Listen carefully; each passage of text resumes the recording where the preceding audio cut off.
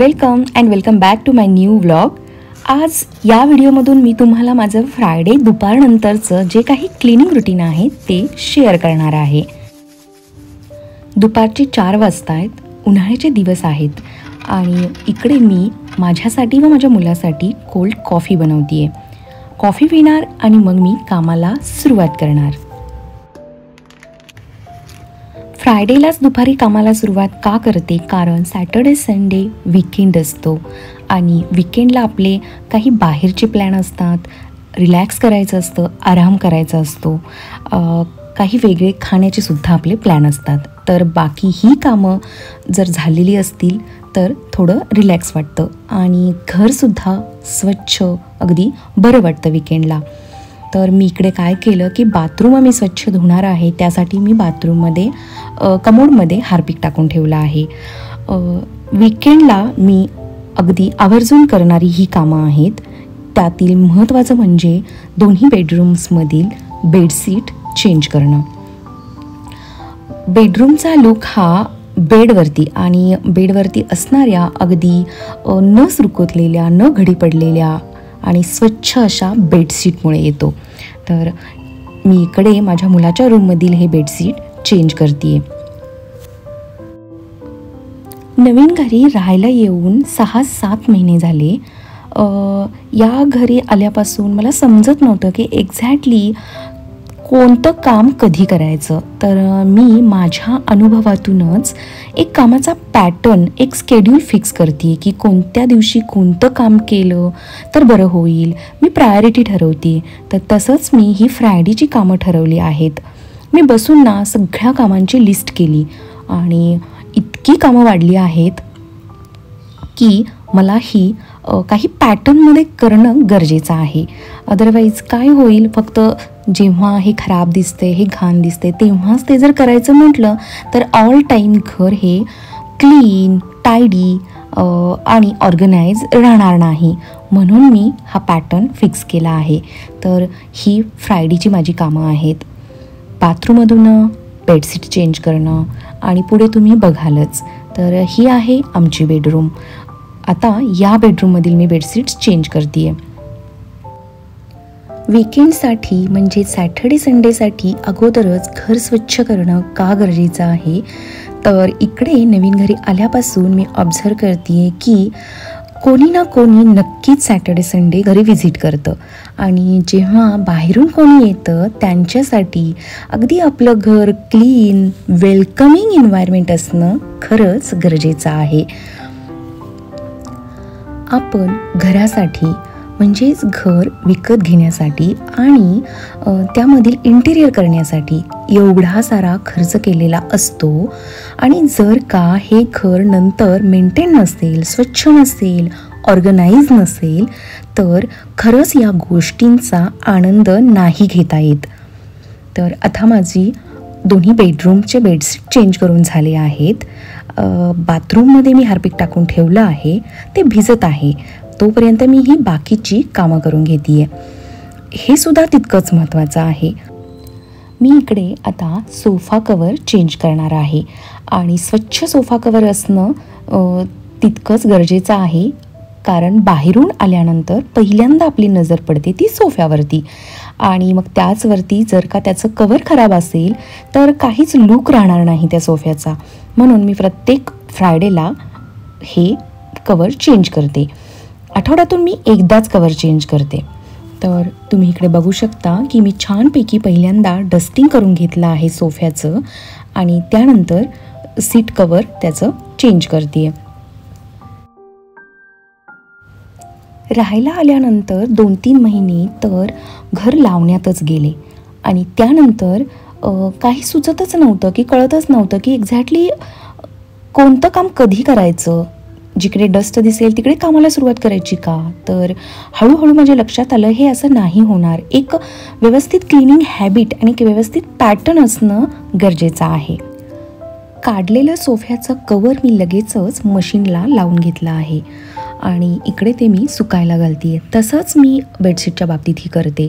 काढल्यानंतर पटकन लगेच मशीन लावून घेते तुम्ही बघू शकता इकडे की मी आता मशीन लावते आणि त्याच दिवशी स्वच्छ धुवून छानपैकी फोल्ड करून ठेवलं की ती नेक्स्ट वीकसाठी रेडी राहतं.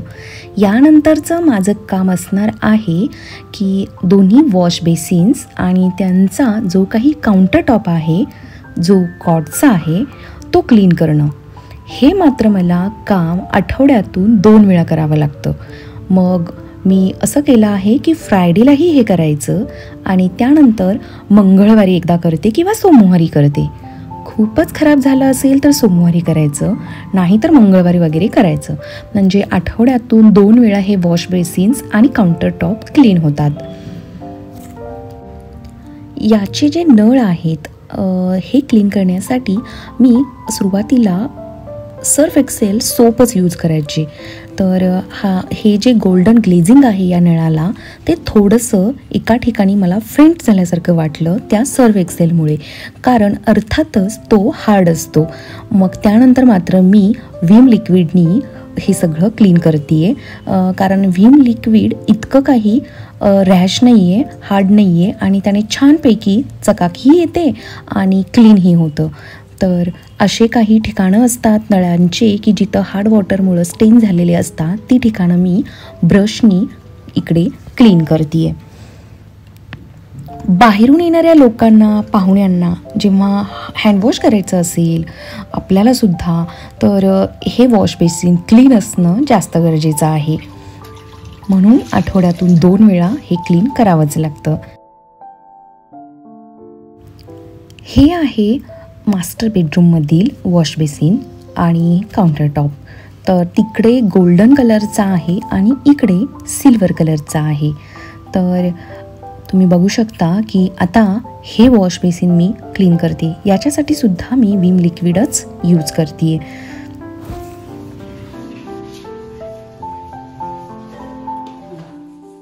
बाकीची ही सगळी कामं होईस्तोपर्यंत बाथरूममध्ये कमोडमध्ये जे काही हार्पिक टाकलं होतं ते छानपैकी आता भिजलं गेलं आहे. म्हणजेच आपल्याला आता जास्त मेहनत नाही करावी लागणार.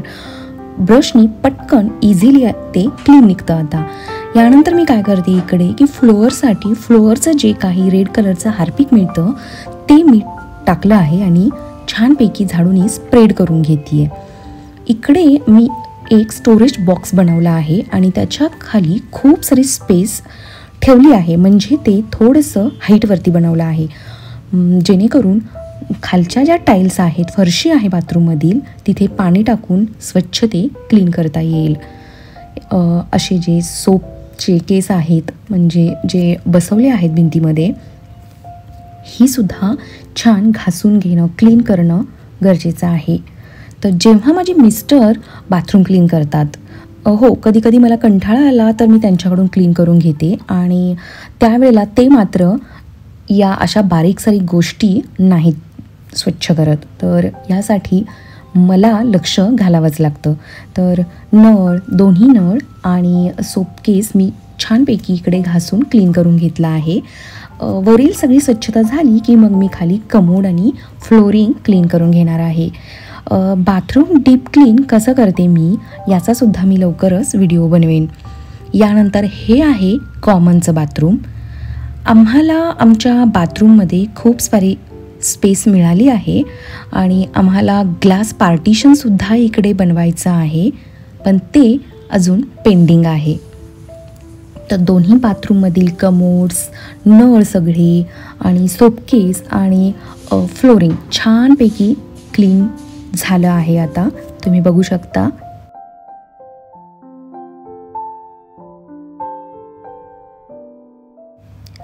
यानंतर वीकली झाडांना स्वच्छ करण्याचं जे काही काम असतं म्हणजे कुंड्या धुणं स्वच्छ पानं क्लीन करणं ते आता मी करणार आहे. आणि सुट्ट्यांचे दिवस आहेत म्हणून मुलगा हाताखाली सापडला आहे. आणि मी त्याला सगळ्या या मोठ्या मोठ्या ज्या हेवी आहेत झाडांच्या कुंड्या त्या बाहेर घ्यायला सांगितल्या आहेत आणि तोही अगदी मला मदत करतोय. जेव्हा कोणी नसेल तेव्हा मात्र हे मलाच उचलावं लागतं. तर पानं झाडांची या धुळीमुळं आणि उन्हाळ्यात तर इतकी धूळ आली ना घरात ज्या प्लेट्समध्ये या कुंड्या ठेवलेल्या असतात त्या प्लेटसुद्धा स्वच्छ करणं गरजेचं आहे.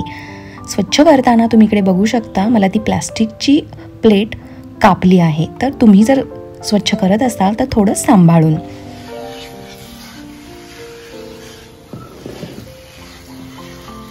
अशा प्रकारे स्प्रेनी प्रेशरनी मी पानं झाडांची स्वच्छ करून घेते आणि फक्त स्प्रे मारूनही ती स्वच्छ नाहीत निघत. त्यानंतर सुकल्यानंतर पुन्हा डाग दिसायला सुरुवात होते पानांना. तर त्यासाठी मी काय करते तर एखादा कॉटनचा कपडा किंवा आपला मायक्रोफायबरचा जो काही किचनचा टॉवेल आहे तो यूज करून पानं मी स्वच्छ पुसून घेते नाजूकपणे. म्हणजे कसं या पानांना श्वास घ्यायला जागा मिळेल मोकळी होतील ही पानं. तर घरामध्ये मी शक्य तितक्या प्रमाणात होईल तशी मी झाडं ॲड करते आहे हे छोटे छोटे प्लांट्स ॲड करते आहे आणि बिलीव मी इतकं भारी वाटतं झाडांमुळे. बाकी काही घर सजवायची गरज नाही.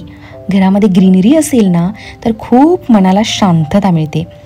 तर तुम्ही पाहिलं होता की मी मध्येच ब्रेक घेतला होता कारण माझे मिस्टर आले ऑफिसवरून आणि त्यांना माहिती होतं की माझं क्लिनिंग सुरू आहे आणि मला भूक लागली असेल म्हणून येता येता ते वडापाव घेऊन आले होते. तर तोच मी इकडं खाल्ला आणि रिलॅक्स करते आहे थोडा वेळ. दोन्ही बाथरूम क्लीन झाले दोन्ही वॉश बेसिन्स क्लीन झाले काउंटर टॉप त्याचे क्लीन झाले. बेडशीटही चेंज करून झाले. बेडशीट धुवून झाले आणि सोफा कवर चेंज करून झालं आणि ते धुवूनसुद्धा झालं. त्याचबरोबर आता हे सगळ्यात महत्त्वाचं काम. पाय पुसण्या चेंज करणं. तर घरामध्ये जिथे जिथे पाय पुसण्या आहेत त्या सगळ्या मी बदलल्या आहेत आणि स्वच्छ पाय पुसण्या इथे टाकल्या आहेत. आता हे माझं वीकेंड रेडी वेलकमिंग होम झालं आहे. तर आजचा व्लॉग तुम्हाला कसा वाटला? नक्की कळवा.